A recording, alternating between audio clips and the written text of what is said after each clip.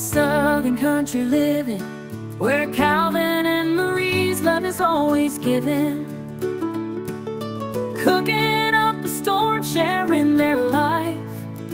Do what you love, love what you do. That's their advice. Down in the South, where the living is sweet, come on in, Hey everyone, I'm Calvin with Southern Country Living, And I'm Marie. and we hope everyone's having a great day. We welcome you to our Sunday chat this week. This is uh, October the 13th of 2024, and it's definitely fall now. We woke up this morning with temperature around 42 or 43 degrees, and uh, our actually our big heat came on, didn't it, Marie? It did. And so I wasn't expecting that, but uh, it was nice. Okay, uh, to get today's Sunday chat started, Marie's going to do the devotion first.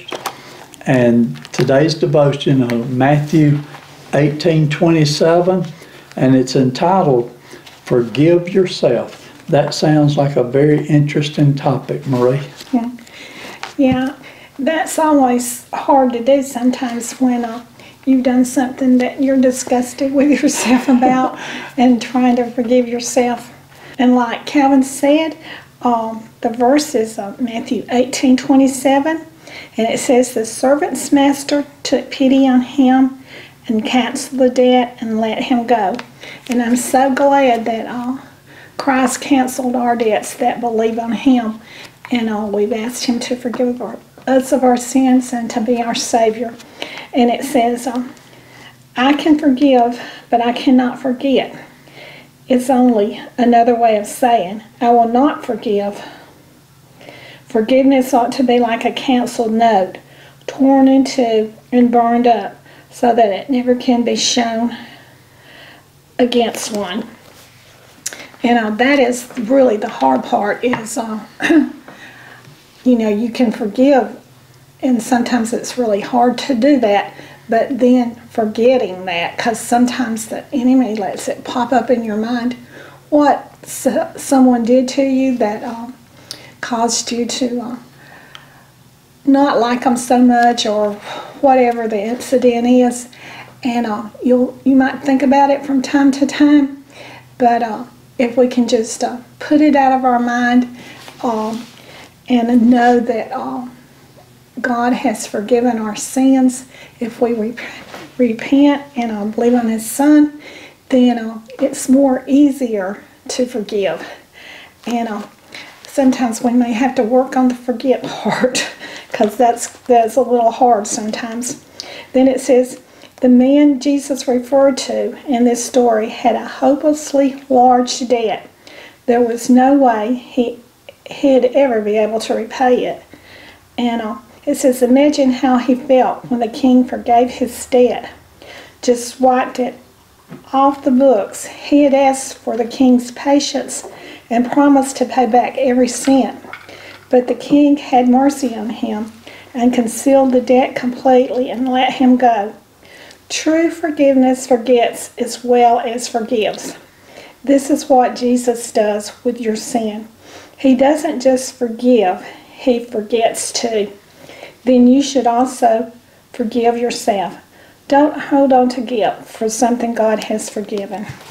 And um, yes, that's uh, very true. Uh, what we uh, just read there, but um, like I said, it's a lot. It's it's hard sometimes to forgive, but it's even har- harder to forget. But uh, when we uh, look about what when we look on the cross and see what Jesus did for us, it's so much easier to do it.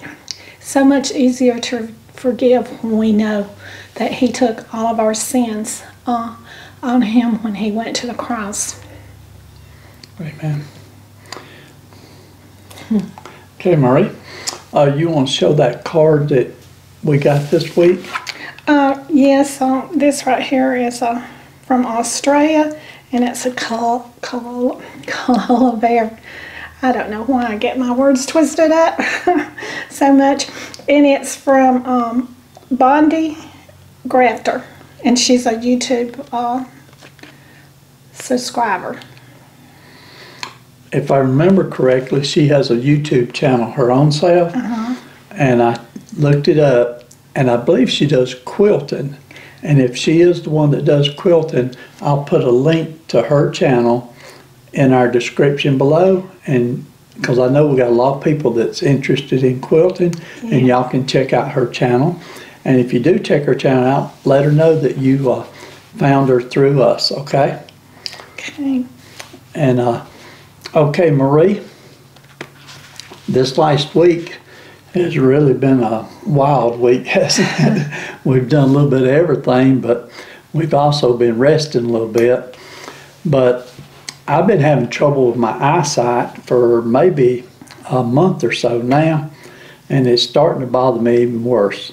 And so this last week I took a little rest and tried to not do quite as much computer work so that I could give my eyes a chance to recover. And they are a little better today, but I'm still having problems. They're, you know, it's still just not comfortable to even, even just looking at the camera right now. It gets a little blurry with me sometimes, but I do have an eye appointment for this coming week, so we'll get them checked out and see what's going on with that. Yeah. I'm 72 and I've never been to an eye doctor in my life. I've never had any eye problems. Uh, I do use reading glasses and I use these, you know, anytime I'm using my phone, I use my reading glasses. But I would say over the last month or so, I've been using the phone quite a bit Yeah. and I might have just strained my eyes. I'm not sure what happened. But hopefully the eye doctor can help me with it. Uh, from time to time, I also have problems with my eyes, so um, I understand. I also suffer for, from blurry vision, also, and uh, I think sometimes when you're in this particular age group, and even not just this age group, but you know, you start having some of these problems. I think so. Yeah. Okay, and so uh, probably the biggest event that happened this last week was Hur- Hurricane Milton came into Florida, and uh, there was, uh, you know, quite a few people died from the tornadoes that was spun off of the hurricane, and I don't know the exact number because I hadn't been watching the news real close, but I do know that several of our viewers uh, had problems with their power being off, with water blowing in their doors, uh, just all kinds of problems. And so we just want each and every one of you to know we have been praying for you. And I'm just thankful that it wasn't any worse than it was because the original forecast it was going to go a little bit further north and it would have been more devastating for Tampa. But it went a little bit further south, which it was devastating for those people down that way. But I think the biggest damage was where all the uh, tornadoes spun off of it. And you you talked about that last week. Uh, Yes. Tornadoes, that's something we have to deal with here where we live. And when the tornadoes come through, that's mostly what we deal with. Mm-hmm. Yeah. Uh, when the hurricanes come through, is what I mean. That's mostly what we deal deal with. That's is it. The, uh, But even in the spring, when there's no hurricanes Mm-hmm. and we just have pop-up storms, uh, we're subject to getting tornadoes at any time, and they do hit, don't they? yes, and we've even been subject to them in December when Yeah. um, the hot air and the cold air mix. Okay, um, now last week, uh, we went to Mike's wedding and we really had a good time down there. And by the time we drove down and we got there at least an hour early, didn't we, Marie? And then we stayed through the whole wedding and the reception. And then we drove home. By the time we got home that night, we was totally exhausted. But uh, I took and I recorded approximately two hours worth of video while we were at his wedding, and I put most of it together for him so that uh, him and Amber would have a video that they could watch anytime they wanted to watch. And uh, and I'm, what I'm really waiting on is their photographer that took pictures. I want them to get those pictures so I can add a few of those pictures to into their video for them. I think it'll make them a real good video. But I did post a few of those pictures last week on one of our videos, And we didn't take that many pictures of ourselves. But at the end of this video, I put just a few pictures uh, from the wedding at the end of this video. And later, uh, I may put a longer video, maybe 15 minutes long, that will be a lot of their wedding. And so, but that's something we'll do later. Um, after going to the wedding on Saturday and getting home late Saturday night, like I said, we was exhausted. and so this week, just been sort of taking it easy and just resting and just enjoying life, haven't we, Marie? Right.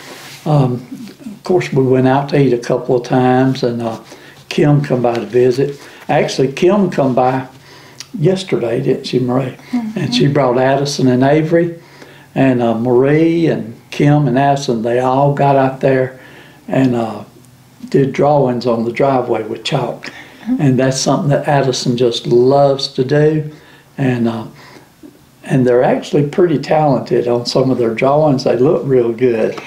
Yes, the ones Kim drew looks real good. Well, I think they all look real good. but uh, anyway, I, I showed you a little clip of the drawings here. I hope y'all enjoyed that. Okay, Marie, last week we only did a total of four videos last week. The first one that we had did last week was our Sunday chat, and the subject of that was complete surrender. Mm-hmm. And we did have a lot of good comments on that particular devotion. Mm-hmm. And I think we're going to get a lot of good comments on your devotion today because forgive yourself is a good topic. Yep. Okay, the second video we did last week was called Fun Day. It was Dollar Tree and Walmart shopping. And Marie went looking at some Christmas decorations and just holiday decorations in general. And you still want to make one more trip. You told me you want to go to Home Depot. And uh, so, Lobby. oh, uh, But Yeah. I don't See, I mind got- going to Home Depot either. They have a lot of good outside decorations. yeah, I got Home Depot on my mind, don't I? Yeah. Marie wants to go to Hobby Lobby and look at their Christmas decorations. They do have a. Harbor Freight out there, so if you don't want to go to um, Hobby Lobby, you can always go over there. Yeah, well, I enjoy going to Hobby Lobby with you too. Yeah. And they do have a lot of decorations at, at I like Lobby. it when we go to the Mexican restaurant and then Addison is with us and she wants to go to Hobby Lobby and then she likes to pick her out a toy. That makes it fun, don't it? But Yeah. when we go to Hobby Lobby, we'll try to make a video of that and show you what Marie ends up buying there. Uh, the next video that we did last week was the baked lemon pepper fish. And that was actually a video that I made about a year ago. And that was on one of the days that Marie was really having trouble with her walking. And I was helping out by cooking the meal for her that evening. And so hope y'all enjoyed that video. Uh, then the last video we had this week was just uh, yesterday. Uh, well, it was Friday. But Marie made the Reese's peanut butter bars. And Addison really enjoyed them. yes, and Calvin took the fork and got a teeny tiny corner off of Marie's bar, and that was all I had. Just a taste, just enough to know what it tasted like. Uh, it, that particular recipe really did taste like um, a Reese's peanut butter cup. And the trick is making sure that you get your graham crackers real uh, chopped up, really, really good. And uh, it was just they were they're very delicious. They were, and the longer they sat in the refrigerator, the better they got. Yeah, and also uh, you put them in the refrigerator and let them sit up for about 30 minutes. You take them out and you um, cut them. And the reason that you do that is because um, that way the chocolate doesn't crumble when you do make your original cut. And so then you just follow that line that you uh, cut the first cut cutting with, and uh, that really um, helps the chocolate stay instead of breaking up. Yes, yeah, and that's what I was talking about. After they've been in the refrigerator for a couple hours or more, that chocolate gets real hard. Yeah, and you wouldn't want to cut them then because when you do, then it would break the top of the chocolate. But they turned, they looked beautiful, And like I said, I only got a taste, but I got enough to know that they tasted great.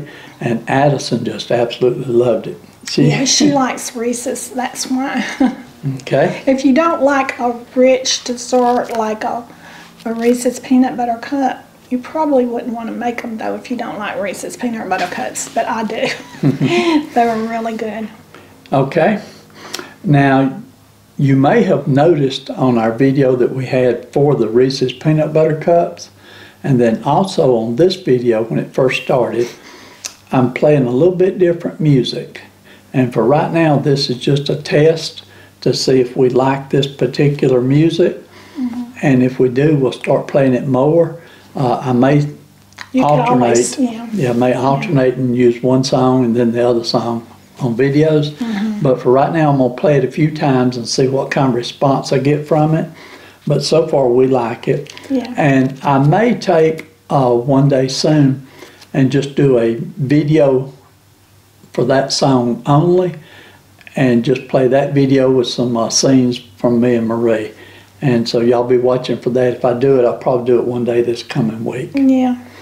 Okay, Marie, that's really all I got um, for this week because we didn't do a whole lot, and uh, we're just a we're just a old boring couple.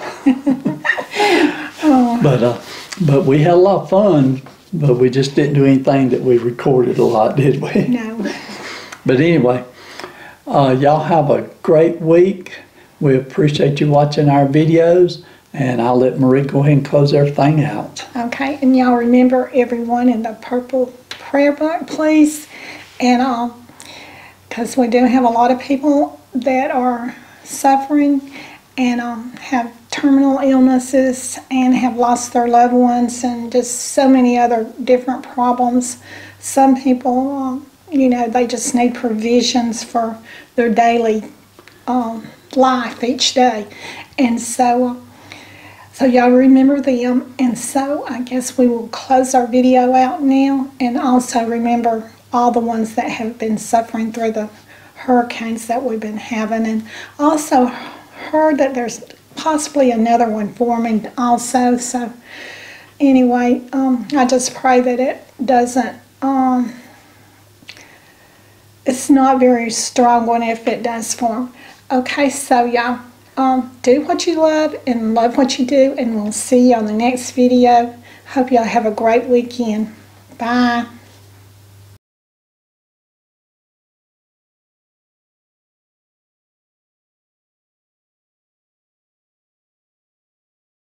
I therefore, by the power vested in me by God in the state of Georgia, pronounce that you are husband and wife. May God bless you and keep you and give you his peace. What God has joined together, let no man separate. Michael, you may kiss your bride.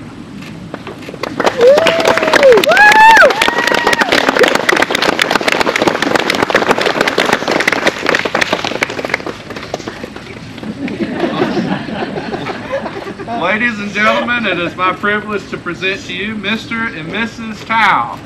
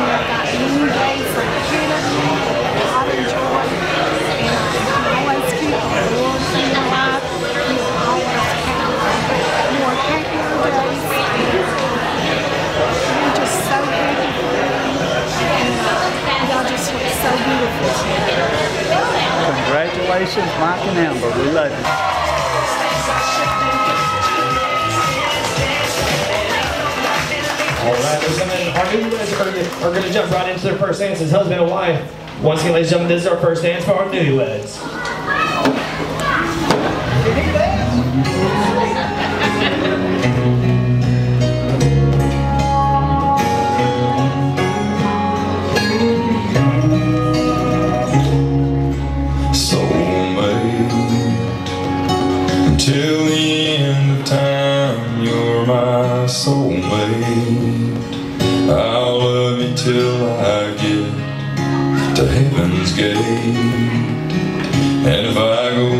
Sweetheart, I'll wait.